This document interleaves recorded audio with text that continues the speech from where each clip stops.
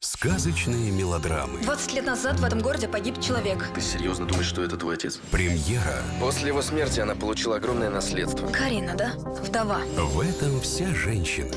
Я устроилась к ней домработницей. Да ты с ума сошла. Хотела докопаться до правды, но узнала слишком много. Убирать ее надо. Я буду кричать. Далеко собрались? Паша. Вероника. Домашний главный женский.